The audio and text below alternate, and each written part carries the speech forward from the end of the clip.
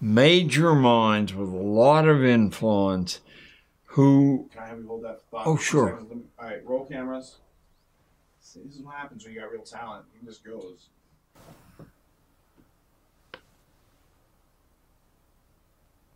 Four cameras rolling. Red dots, everybody. Cool. Floor is yours.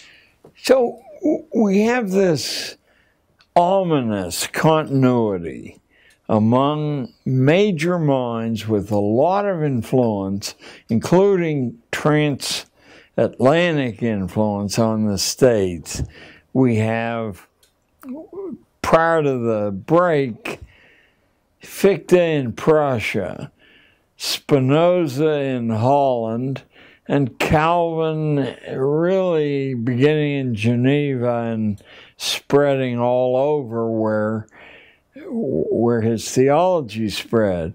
But the father of this, at least in the form of written documentation that's easily available, has to be Plato, the Greek aristocrat who speaks through the mouth of Socrates and writes two influential utopias, one well known, the Republic, and one not so well known, the Laws, which is the product of his mature reflection on what needs to be done. And all four of these men, and we could, if we had time, do 40, but these four major names spanning European history agree that the ordinary population is A, very dangerous to the social order if it learns how to think and if its imagination remains intact. And furthermore, we have this corollary that there is no way to improve this.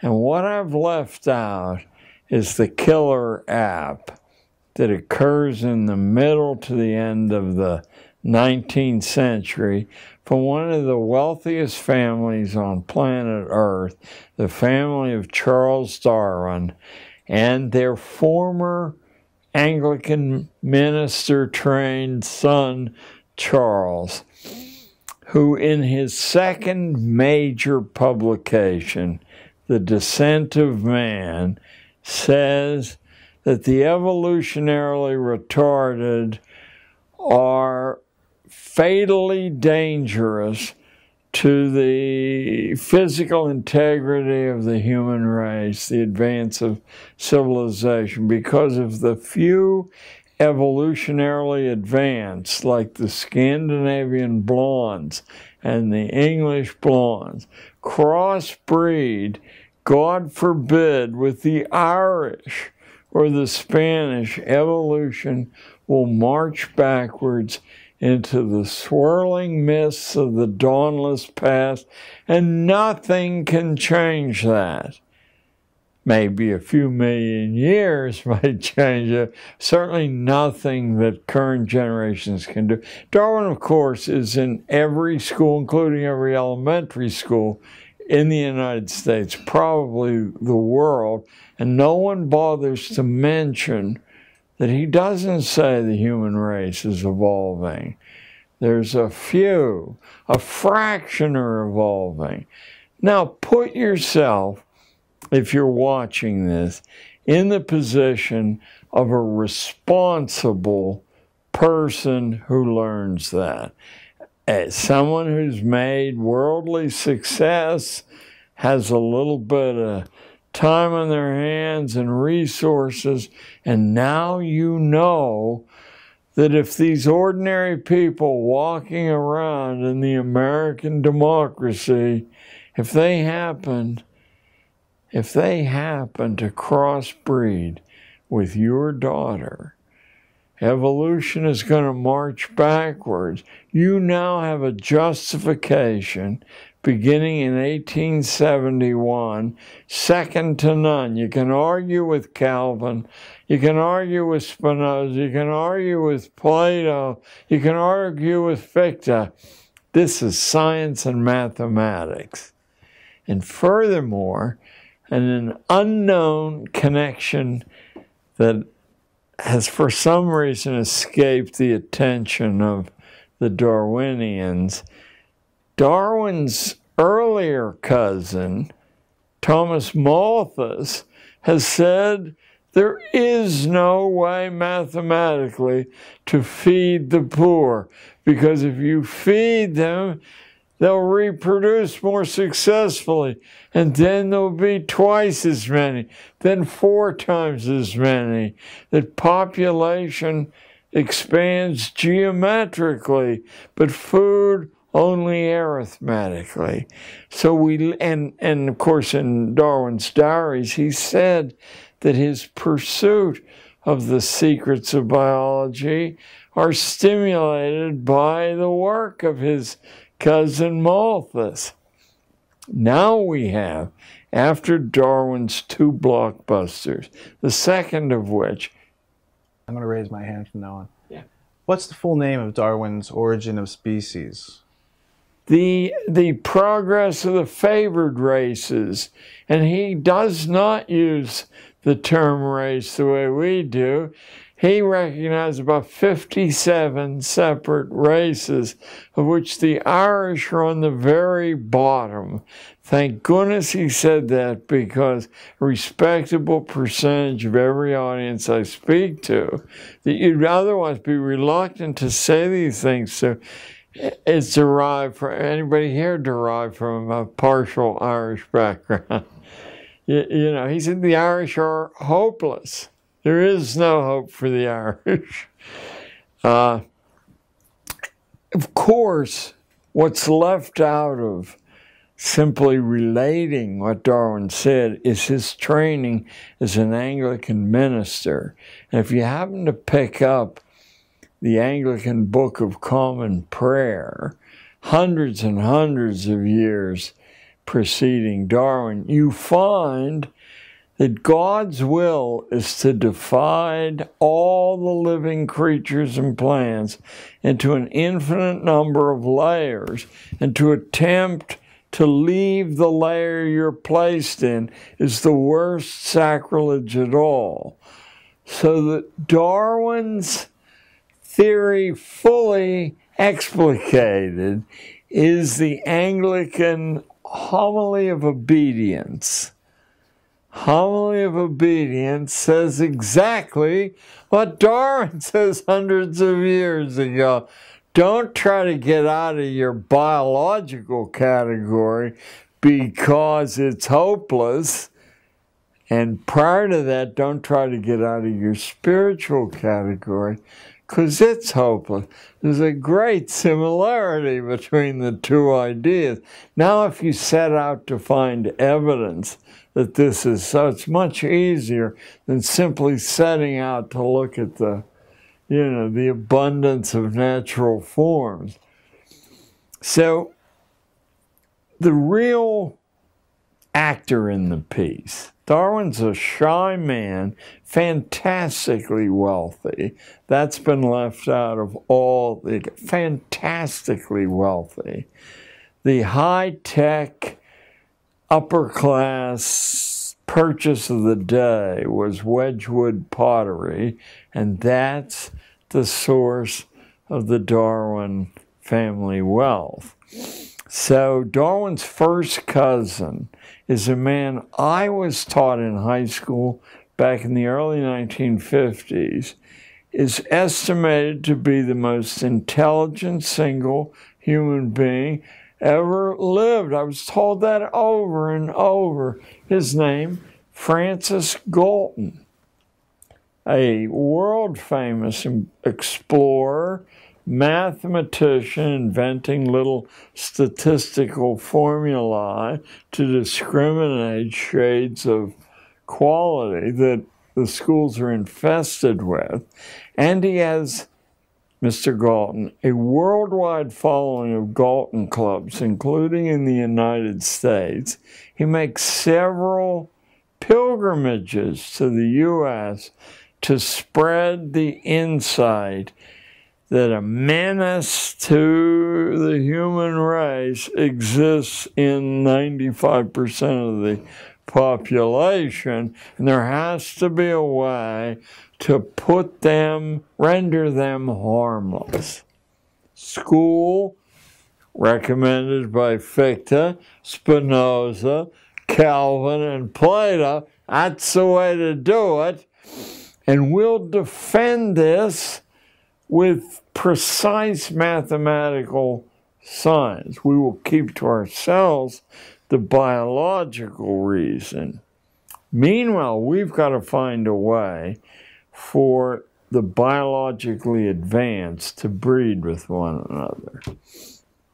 If you will trace the founding years of the elite private boarding schools in the United States, with the exception of no more than six, you will discover that all of them, male and female, emerge in the 30, including the women's colleges, the Seven Sisters, in the 30 years after the descent of man, which will be in every respectable library in the United States, and of course, overseas too. I urge you, especially if you're Irish, to pick it up and read it. you will not be disappointed to find yourself at the bottom of all the races on earth. Just as the English without Darwin would have agreed. You know, well, anyway, so this package of high level evidences, contentions, is capstone with scientific mathematical evidence and the proselytizing of Francis Galton. Vigorous, rigorous. Out of that comes, in the period right after the American First World War, a phenomenon in country fairs all over America called the Fitter Families Competitions. You set up the criteria for ranking, and you know, you present your daughters like prize heifers to be rated by the judges. So we have a series of these reinforcements of Darwinian theory, which is really a reinforcement of Anglican theology or Calvinist theology or Platonic philosophy or Fichtean philosophy, or if you want to go liberal, uh, of uh, Spinozan philosophy, until finally we get to this cap. So Now the cap is off the tunnel to hell because not only are people justified in setting up a form of schooling that's anti educational, but they're doing either nature's work or the Lord's work. You decide. You want to go Calvin, you're doing the Lord's work. You want to go nature, you go Spinoza. Yeah, yeah. So, that, all of this wonderfully rich fabric of foundation is right on the surface. Someone has to point your attention to it. Please, no one watching say, oh, this fellow Gatto is spun off, you know, this phenomenal, interesting, but wacky theory. I didn't spin off anything. I took the dots and I connected them. And I said they're identical from 300 BC until post Darwin Galton comes a German, a, a Prussian uh, psychophysicist named Wilhelm Wundt, who is the premier behavioral psychologist on earth. And now let me spring a bombshell on all of you. The only place in the world for a long, long time you could get a PhD degree was either Prussia, University of Berlin, Leipzig, these little nests of Germanic countries So, from all over the world came the sons of the most powerful families, beginning in 1814 or 16 in the United States when the guy who later became the governor of Massachusetts went over to get his PhD degree. By the 1870s, 1880s, it was a flood from Japan, from Russia, from everywhere. And now they return to their home countries, not because they have a PhD degree or they made presidents of universities, heads of government bureaus, because their families have clout. And now that's become the ticket to intellectual management. That's how these Prussian ideas spread like wildfire. There's only one university in the United States who doesn't have a president with a Prussian PhD, and he's close. I think he has a, a French PhD because the French scrambled to try to get that degree too. That's Titchener at Cornell, or the head of a all the, all the heads of psych departments, Prussian PhDs. So you now get this kernel of ideas, whether fanciful or scientific, everywhere. From Japan, I mean, everywhere the same ideas. The Japanese Constitution in 1868 is scrapped, and the Prussian Constitution translated into Japanese. I mean, we're talking here the domination of ideas that's so interesting that what should make you suspicious is that no one ever heard of they heard of this detail this detail.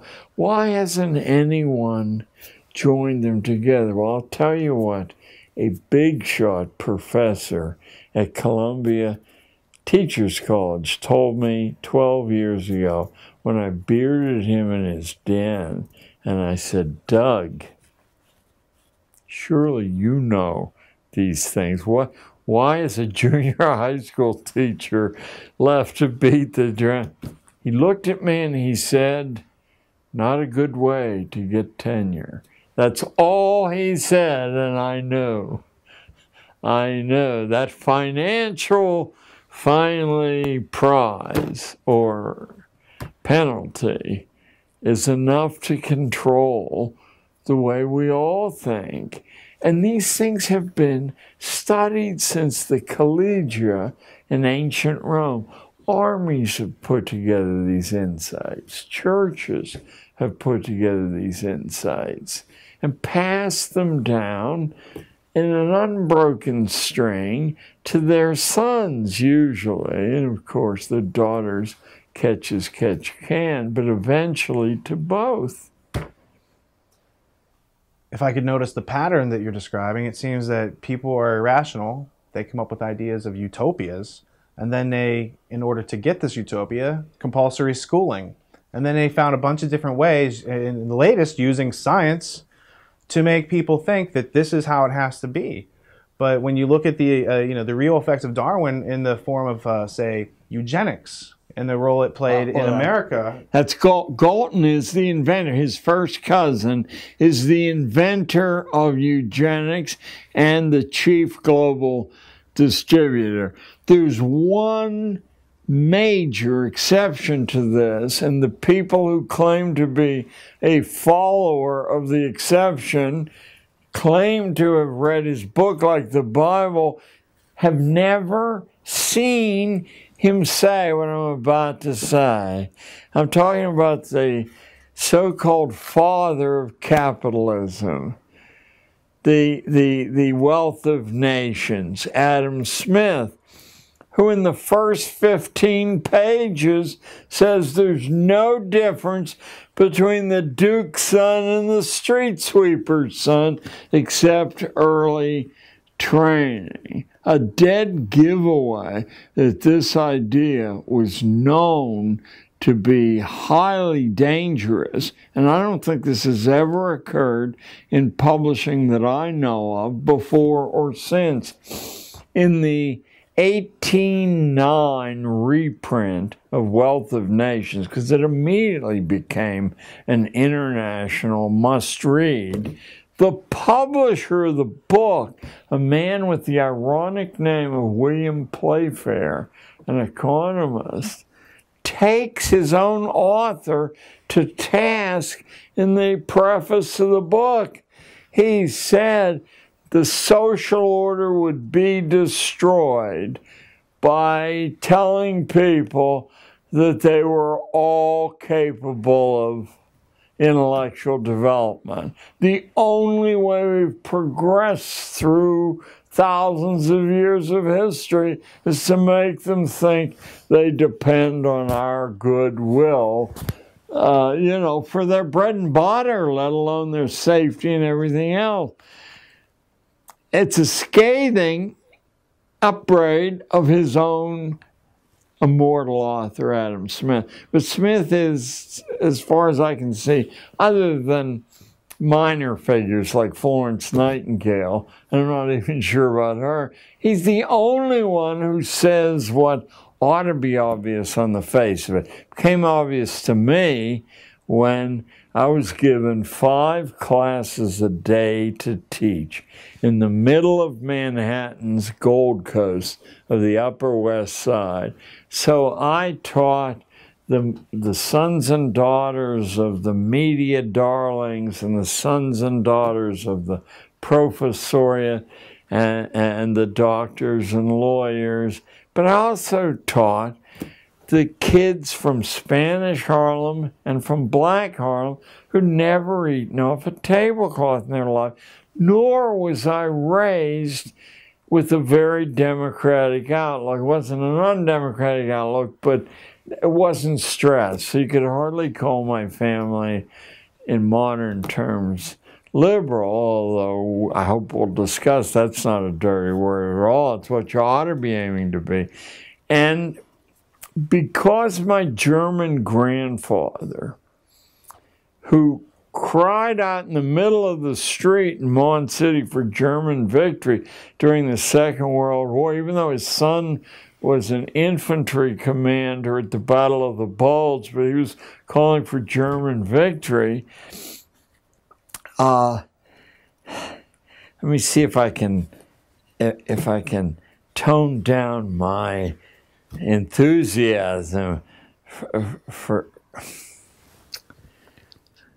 well, a large percentage of the population at time at that time was German. Oh, right now. There was a whole swing of, you know, pro-German up until like 1913, and then all of a sudden uh, the Germans were Huns and ad hominem attacks, right? Adolf Hitler, in my, the reason you don't find Mein Kampf everywhere isn't that it's a dull book there's a center section that's a tribute to the United States as the most pure Germanic country on earth. The 10 foot portrait of Henry Ford behind Hitler's desk, and Sigmund Freud's nephew. Bernays. Edward L. Bernays was the public relations man for Nazi Germany. That's why you don't find that would disturb people to know. So best they don't know that stuff. Anyway, I uh, partly out of uh, a kind of natural egalitarianism that comes from a strong working class population around Pittsburgh will break your nose if you insult them rather than beg for mercy uh, I decided, and partly because of laziness, I decided with my five classes a day to impose the same material on all five classes, the same quality of discourse, make no differentiation at all. Certainly made my life easier.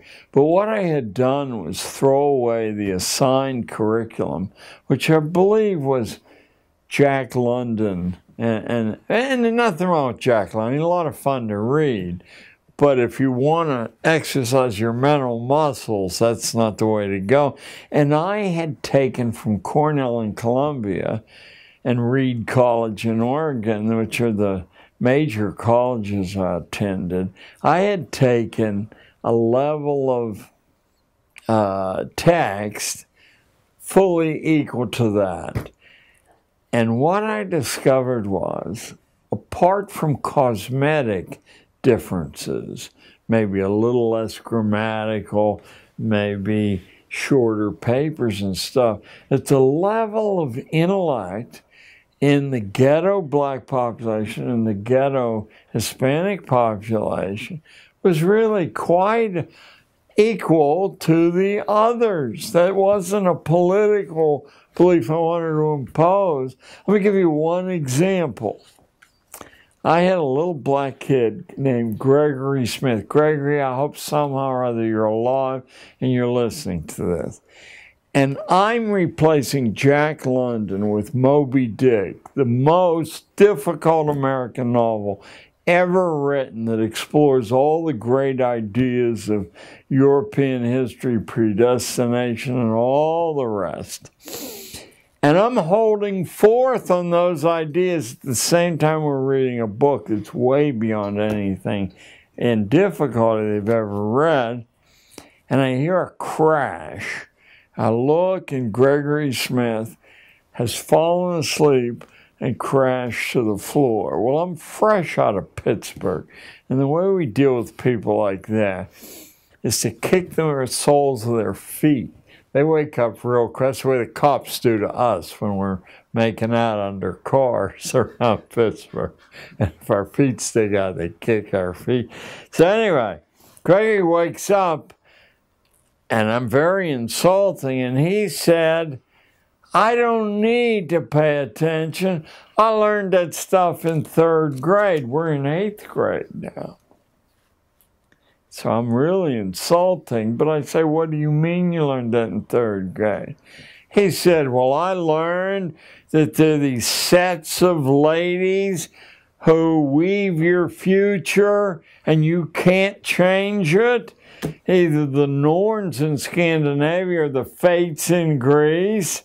And as I was reeling back from that, because he had made a connection Cornell and Columbia never made for me between predestination and these, he said, and and I learned these things from the visiting science teacher called genes and chromosomes, and they di- dictate the color of your hair and how you scratch your nose. You can't change that. So I don't need to listen to you talk about predestination. Well, at that minute, I mean, at that exact second, I said, this kid has written a PhD thesis that'll become a book. You know, that'll make his living for the rest of his life. And he's Gregory Smith, a stupid kid. Yeah, you know, and then I completely opened my eyes, and sure enough, behind the street idiom was active mentality, you know, fresh ideas. It just had been treated with such disrespect for so many years, it wasn't worth bothering to waste it on a school teacher.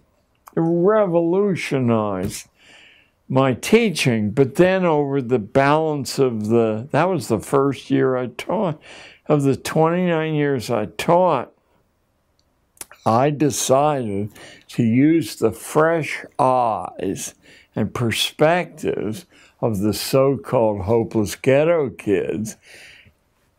And huge benefits flowed to me, and I hope some to them too, because I took what they wanted to do seriously. If Jamal Watson wanted to do nothing but draw comic books in the back of the class, I would go back and use my superior experience, not intelligence, to say, listen, Jamal, I used to read comic books. And if you want to do this seriously, you're doing it wrong. He'd get angry. He'd say, I'm the best in the school.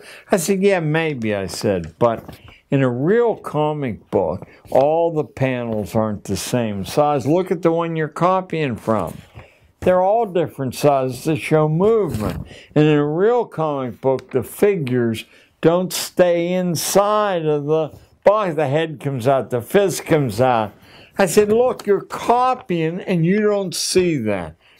Why don't you take a week out of school, go to the local public library, I'll cover for you. Take down a stack of books on graphic art and learn what you're doing. I mean, that's a worthwhile use of your time. So I found out that each person, one girl wanted to do nothing but swim, and she snored in class. And when I finally said to her, What's going on? she said, I've devoted my life to being an Olympic swimmer. She's 13. And I said, Well, why don't you do that for the rest of the year? You can't do it in school. We don't have a swimming pool. But there are about 150 public swimming pools in New York City. Why don't you plot them out on a map with pins or stickers, visit every one of them, set up a rating for these swimming pools? Concentration of chemicals in the water, depth of the pool, length of the lane, lighting, access costs, and you will produce an information reference that'll make you somebody, because I'll go around to the local public library, say you're doing that, and could you be cataloged? Because who else has such a reference as this? Well, she was. Her life was transformed because I treated her time and her with respect. But meanwhile, if you took any, I mean, any of the subject areas, you could find that she was developing muscles in, in each one of them. We got a call from New York, that's a city magazine in New York, about midway through the school year, and they said they had heard about this and they wanted to buy the data and they would pay $500 for it. I said, You mean you want to publish your Well, no, we would put our own writer's name on it. This girl, uh, I doubt if she'd ever seen a $10 bill in her life. I'm offering her $500. She said, No, it's mine. If they want to use it, they'll put my name on it, which they weren't willing to do. So, but but I know that was the beginning of a transformation in her life. A famous American writer, somebody that uh, the uh, New York senator from Harvard, what was his name? He had a fruity voice, uh, very famous one. Uh, go back 10 years. Who am I talking about? He wrote. Mario No, prior to that, but he coincided with Cuomo. No, he was, uh, uh, he had written about uh, the plight of poverty, but they weren't sympathetic books. He was nationally famous, and he was so florid as a, a public figure that, uh, in any case, I had a friend who had flunked out of uh, Cornell. I'm, I'm reluctant to mention his name without because he's a nationally famous writer about assassinations. And this famous New York senator said publicly that he was the world's foremost assassination expert.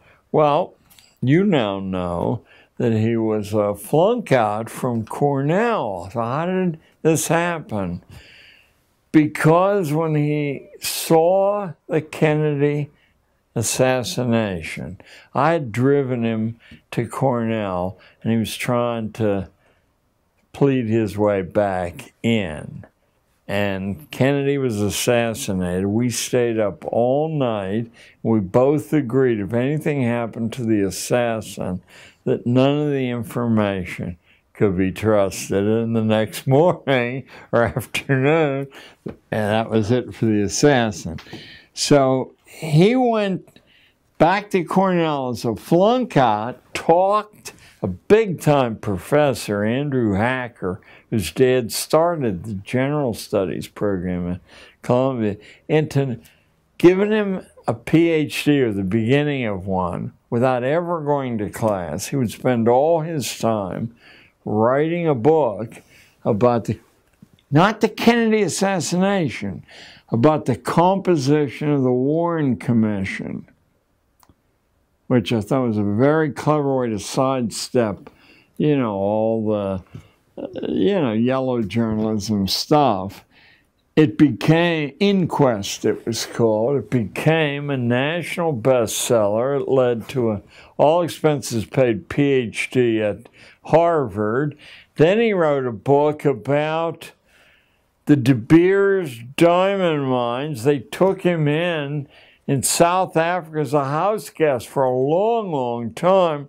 And he wrote a book saying diamonds are essentially worthless because they have thousands of years of flawless diamonds already put away.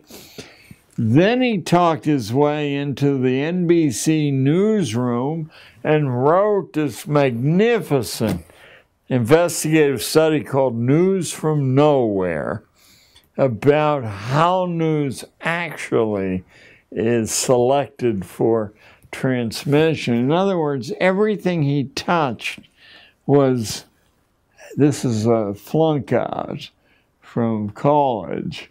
So all these anomalies from the Harlem kids, the Spanish Harlem kids from my flunk out Cornell friend, finally shook my belief in what I had been taught that it's an orderly universe, merit determines, and I could begin to see around me all the narratives that were disconnected from reality. They hardly were hidden at all. You know, they were all weapons of mass destruction narratives. And they occurred over and over and over again in every aspect, including in the world of medicine and nutrition. You know, there seemed to be no ethical or moral uh, break on what insiders were able to say and all the other insiders would agree with. So that when I turned to what obviously was wrong with school was that we were creating, I as a school teacher, was creating the hideous discipline problems that we then said we must have money to relieve. That it seemed like a closed universe in which one hand washed the other one. That all these horrible kids from horrible ghettos were perfectly able to rise into valuable contributors and it wasn't a very long distance to go. For example, I remember one. I uh, I started a school year with. They were trying to get rid of me as a teacher. They gave me the worst class uh, on the eighth grade. The kids were huge. They had no tradition of scholarship at all. But I determined to utterly ignore that and to say that we were going to start with Shakespeare's three most important plays, and if they could master the parts, that I was willing to cut them loose from school for months and they could travel around elementary schools, put these plays on, and then talk about the problems of staging them, of mastering the character, or something or other. And I'd say 10 days went by. It was as if I was in a Harvard seminar, and all of a sudden, some kid burst out laughing in the middle of, oh, that this too, too solid flesh would melt, thaw, resolve itself into a dew. What are you laughing about? Don't you know? He said, we're the dumb class.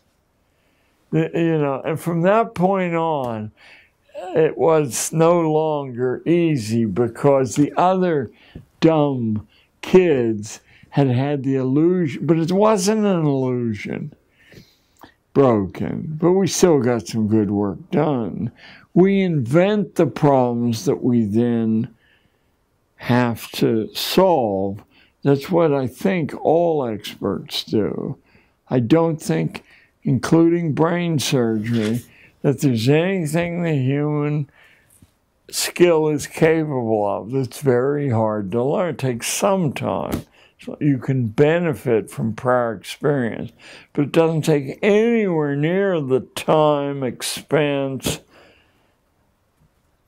So the point is that individuals have an innate, infinite potential, and that we're not limited by genes or species or Even race. a or- lust to. That People wish to learn. It used to be called emulation. You're around somebody can do something well. Of course you respect. I mean, you're watching how they do it. Yeah, you know, we talked earlier about the disadvantage adopted kids ha- have when you watch your mother and father and you're 14 months old and have no language, you're still seeing how they deal with frustration, how they merge with one another or not, contend with one another. You're seeing so many hundreds of skills that, in fact, you're biologically programmed to, to imitate. Later, when the mind kicks in, you have some selection, which ones to and which ones to. But uh, we don't allow that to happen because the very first thing schools do is strip the experience base away. I mean, uh, the easiest way to turn your kids into geniuses I mean, by the time they're seven, it's just to front load huge amounts of experience, including dangerous experience. And my favorite story is Richard Branson tells it in his autobiography. His mother, who was an airline stewardess in 1946, flying the Atlantic, so not exactly, you know, the safest thing to do she was desperate that he wouldn't become a dependent. And so when he was four years old, picture 48 months, he, she drove him miles from their London home in Shamley Green and asked him if he thought he could find his way home from there. And he said he thought he could. Get out and do so then, she said. And now he said, Where is he? He doesn't even have many words, you know. So, eight or nine hours later, when he finds his way home, he said, Nothing in his life ever seemed hard for him to do again. He drops out of high school, never goes to college has his first million bucks by the time he's 19 by figuring out what people need and want and giving it to them cheaper or better or bringing anyone to offer it. What would the, our society be if we put millions of people through the same experience? I think it would be closer to what colonial America was and early federal America, when nobody wanted to work for somebody else. They wanted an independent livelihood. It would be closer to that than the corporate hell that we have now.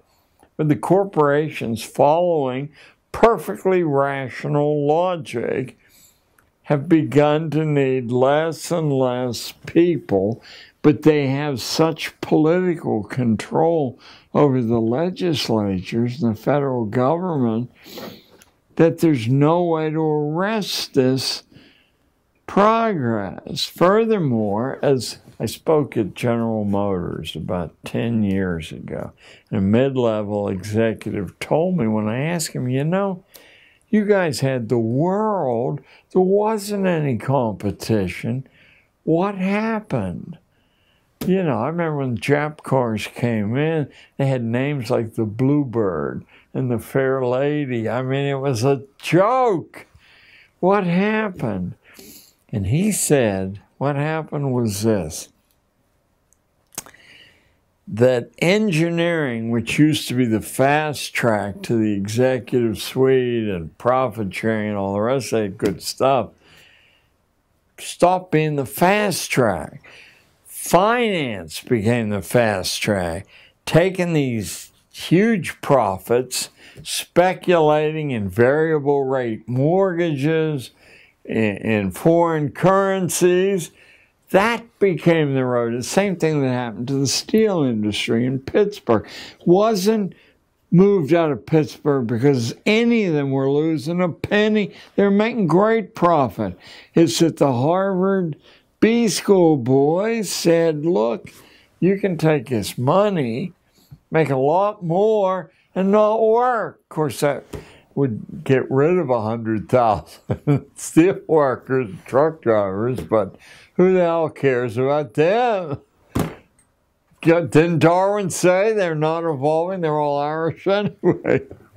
Well, this is this is the juxtaposition between eugenics and that type of mentality where people are under control and someone like Branson who gets to go on walkabout, which is a rite of passage, Yes. which was around in the founding of this country with high uh, literacy rates. And so when we had a high entrepreneurship, self-reliance, literacy rates, people who had critical thinking and knew how to deal with problems on their own, because if not, you might die. Or other people think badly of if you say, I want a job for, you know, what do you want to do? Right, right. Uh, but but these different uh, compartments are intimately interlocked. So by studying one and the other as if you're going to pass a short answer test, you're disabling your this Fragmenting. yeah, yeah. The uh, s- synthesizing power of your mind, which is what enables you to strike out so that history doesn't infinitely repeat itself. But now that's been restricted to such a small fragment of the population that we're in desperate trouble internationally because the Chinese, the Japs, the Malaysians can do this brain paralysis much better than we can because they have traditions that allow that. And we still turn out on the 4th of July and say, home of the free, land of the brave, whatever. Uh, so if someone were to walk away from this segment saying, what did he say? It's that the bad things done in school have been intellectually justified. And you're not going to change that set of mind. So, all the effort you make to systematically change schooling is a huge waste of time, energy, and resources because now the majority of the important people in the country make their living either directly from that or indirectly because you no longer have uh, a critical mind. And what is the definition of marketing? That when I took marketing at Columbia, they taught me it's overcoming sales resistance. Well, if there is no sales resistance, you know, you do that by juggling balls and dancing. Here's a pretty girl, buy the product. You can have her. You know, it's quite a pickle that we're in. Not our managers don't think they're in a pickle, but they are too. because the Chinese, for example, are so much more well versed, you know, in screwing rival power. We've only been around a few hundred years. You know, they're reeling us in very nicely, thank you. If they cashed in the bonds they hold right now, for just forget the dollar is paper. Give us our money back. How are populations kind of prepared and indoctrinated and conditioned into receiving, you know, such such uh, low? There's they they provide such low resistance to the Ponzi scheme mentality Yeah, of yeah, the predators. Yeah. Well, the, the, interesting thing about leverage, and it has been studied since ancient Rome, is you don't have to do everybody. You just have to do a few opinion makers. They do the rest. Here's how Andrew Carnegie did it with the Protestant churches of the United States. He simply, in one fell swoop, donated a brand new organ to every church in the United States. This dyed little atheist opened his purse. Everybody got a new organ. Do you suppose there was much, anyone turned the organ down or there was much resistance? Now you accept the organ, but you know, you grew up in a Christian tradition. You don't you thank Mr. Carnegie for his organ?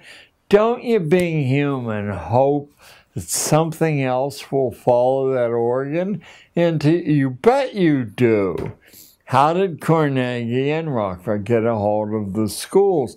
There were no pensions for teachers. The government didn't set up the pension system.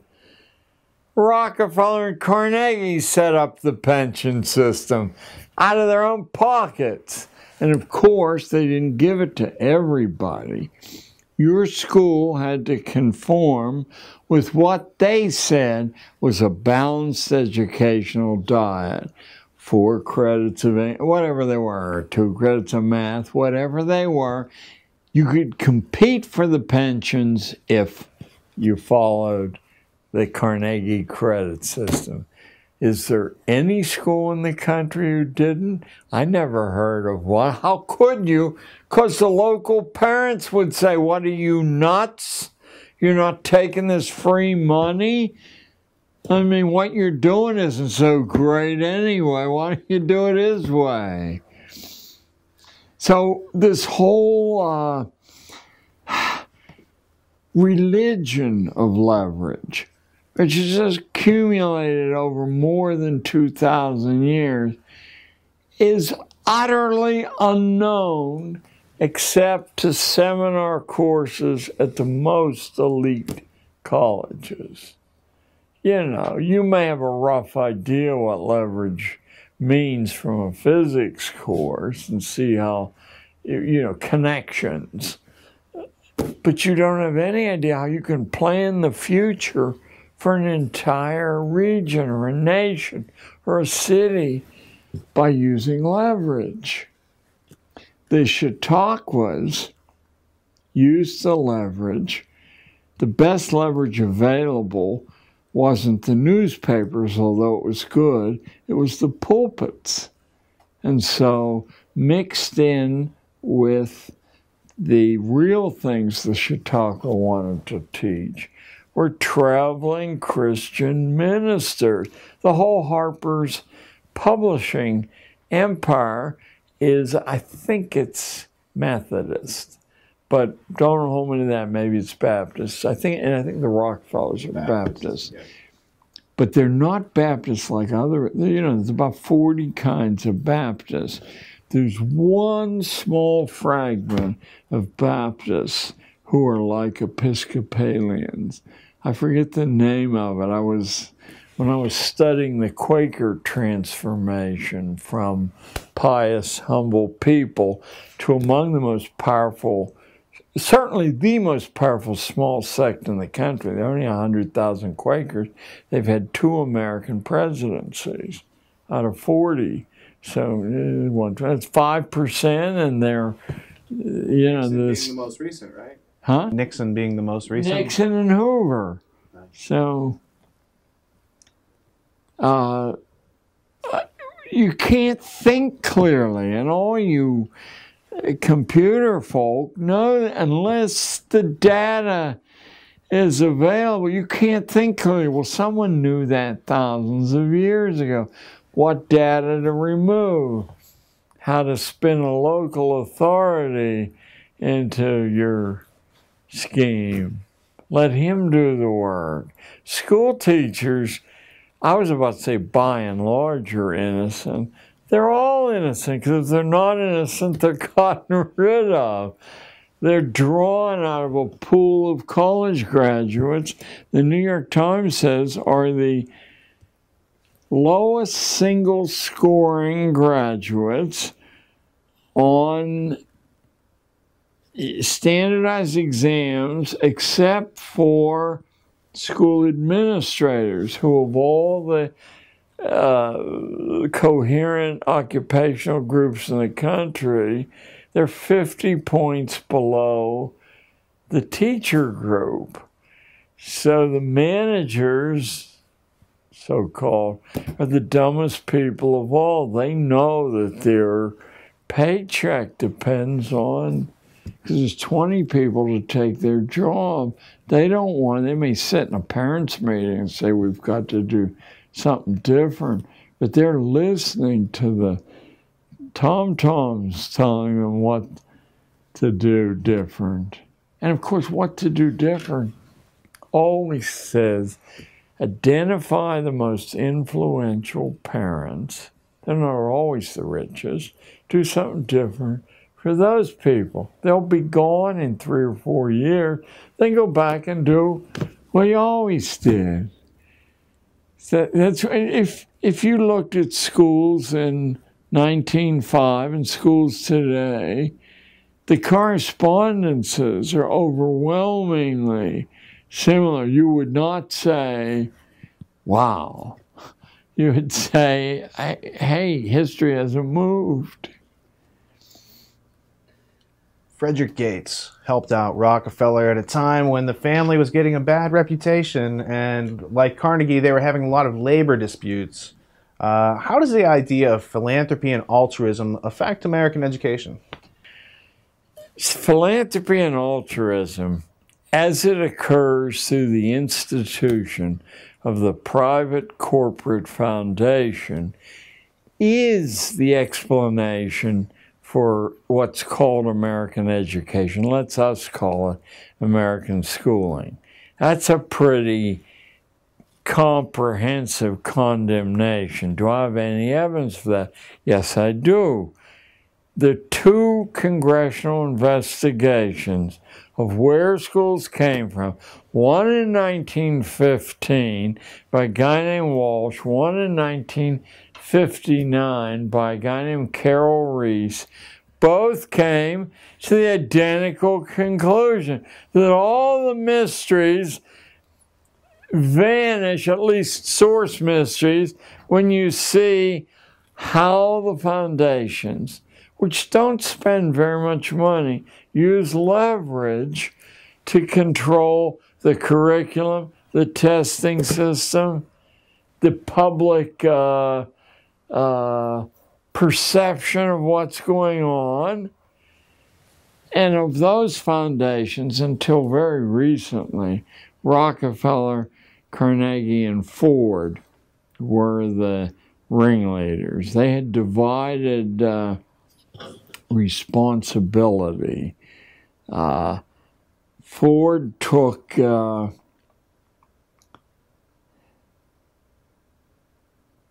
uh, uh, let me not misstep here. Rowan Gaither was in charge of Ford at the time, and he had met with Norman Dodd. And, and Gaither says, "Well, Mr. Dodd, you know, we, we have direct uh, directives from the White House, and we're, we're we at the Ford Foundation are ex-CIA or OSS." The White House back in the 20s and 30s set up conferences of experts in order to homogenize expert opinion because inside the expert body there were colossal names, and if they spoke, all the other chords fell into line. I think Ford took over the psychological uh, output of schooling.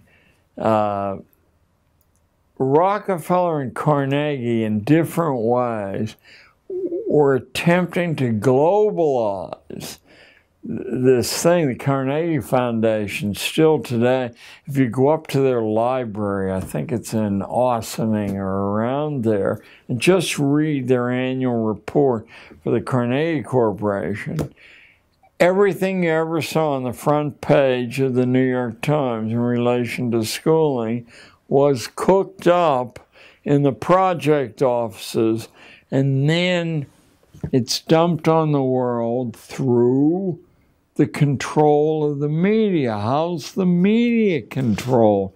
Well, it's controlled through advertising. That's all. You can use your friends to buy more or buy less when they come and say, Why aren't you advertising? When you say, Well, your point of view is so radical. Advertising. It's done. All right, cool.